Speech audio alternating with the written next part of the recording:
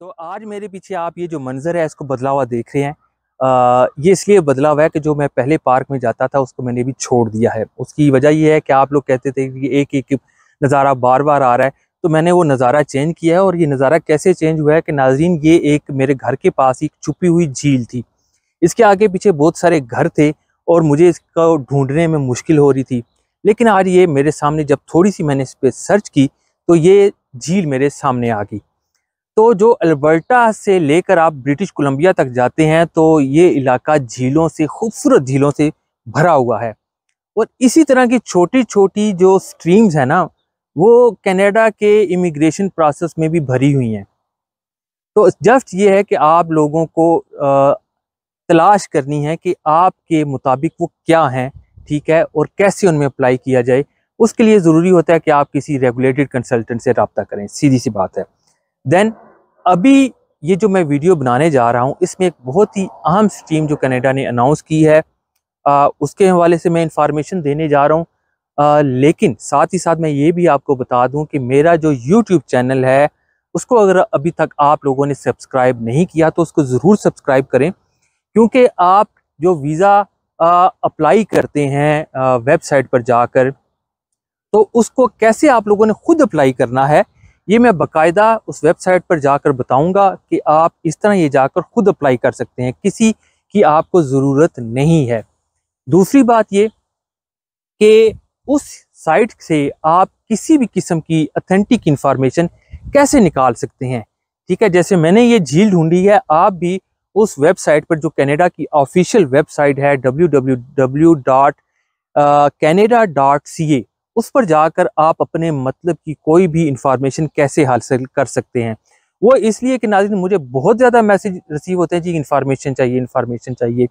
और इतने ज़्यादा इन्फॉर्मेशन के लिए मुझे मैसेज रिसीव हुए कि मैंने अपना जो नंबर चेंज कर दिया और अभी अपने पेज पर मैंने व्हाट्सएप नंबर डाल दिया है कि उसमें से जो आ, काम के होंगे जिनको अथेंटिक होंगे जो किसी ज़रूरत होगी ठीक चीज़ की मैं उनको इन्फॉर्मेशन दे दूँगा। बाकी जो इन्फॉर्मेशन चाहिए जिनको वो उस वीडियो पर जाएँ यूट्यूब को मेरे चैनल के सब्सक्राइब करें, उनको बता दूँगा, वहाँ पे वीडियो पड़ी होगी। तो अपनी मर्ज़ी से जाकर खुद वो इन्फॉर्मेशन वहाँ से हासिल कर सकते हैं। तो अभी चलते हैं कि आज का जो टॉपिक है कि वो कौन सा स्टीम अनाउंस कर दिया है कनेडा ने कि जिसमें बड़ी इजीली आपका वीज़ा लग सकता है। तो नाजरीन कनेडा में बहुत ज़्यादा कमी है टेक्निकल स्किल्ड लोगों की। यहाँ पर ज़्यादातर जिनका वीज़ा लगता है, लोग आ रहे हैं यहाँ पर। वो आते तो हैं, लेकिन टेक्निकल स्किल्ड नहीं होते। कनाडा में बहुत बड़ी शार्टेज है टेक्निकल स्किल्ड वर्कर्स की। तो इनकी कोशिश भी है कि जो स्किल्ड वर्कर हैं, उनको बुलाया जाए। अब इशू ये आता है कि जो स्किल्ड वर्कर हैं, वो ज़्यादातर एजुकेटेड नहीं हैं। इनके जो टर्म्स एंड कंडीशंस हैं, वो उस पर पूरा नहीं उतरते।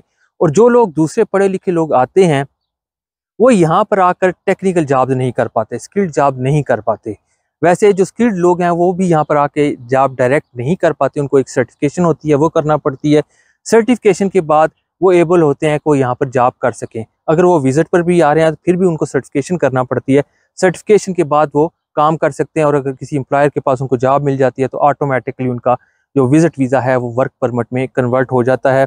आम विजिटर से जो स्किल्ड ट्रेड वर्कर्स होते हैं, उनका ज़रा जल्दी काम होता है। क्योंकि कनाडा के हर सूबे में स्किल्ड जो लेबर है, उनकी बड़ी शॉर्टेज है। तो इसी को मद्देनज़र रखते हुए गवर्नमेंट ने अनाउंस कर दिया है प्रोग्राम काफ़ी लोगों को इसके हवाले से पता है, लेकिन कन्फ्यूज़ हैं। उसमें कन्फ्यूज़न क्या आ रही है कि कनाडा ने अनाउंस किया है कि जो यूएस के H one B one visa holders हैं, वो कनाडा में भी आ सकते हैं। लोग समझ रहे हैं कि जो कनाडा है, इसने अपना कोई प्रोग्राम अनाउंस कर दिया है, जी कि H one B one visa holder है। तो वो उसका कोई वीज़ा ये देंगे कनाडा वाले। ऐसा नहीं है, जो लोग यूएस में H one B one visa रखते हैं, उनको वीज़ा मिला हुआ है, वो यूएसए से यहाँ पर आ सकते हैं और कनाडा ने उसके लिए बाकायदा प्रोग्राम का अनाउंस कर दिया है, प्रोग्राम चल चुका है ये। इस तरह कनाडा बहुत सारे और भी प्रोग्राम जो है वो अनाउंस कर रहा है। आज मुख्तलिफ़ स्ट्रीम्स हैं जिसमें लोगों को अट्रैक्ट करने के लिए यहाँ पर इंफॉर्मेशन दी जा रही है, बुलाया जा रहा है। इस तरह जो टेक डिजिटल नोमैड है, उसके लिए भी एक स्ट्रीम है।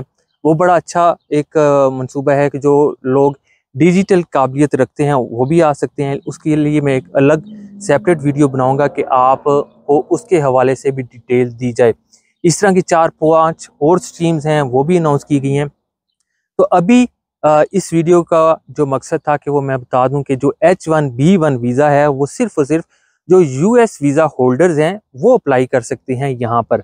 बाकियों के लिए जो टेक्निकल स्किल्ड वर्कर्स हैं लेबर्स हैं, उनके लिए कनाडा ने काफ़ी सारे स्ट्रीम्स अपनी भी अनाउंस की हुई हैं, जिसमें वो, अगर तो वो उनके पास अपनी वेरीफाइएबल डिप्लोमा है टेक्निकल का, बहुत सारे उसमें उन्होंने बताए हुए हैं कि ये ये शोबे हैं। इनमें अगर आपके पास इतनी आपके पास एक्सपीरियंस है इतना आपके पास इसका डिप्लोमा वेरीफाइएबल है तो आप जो है अप्लाई कर सकते हैं और सर्टिफिकेशन लेकर यहाँ पर आ सकते हैं और अपनी जॉब ढूंढ सकते हैं।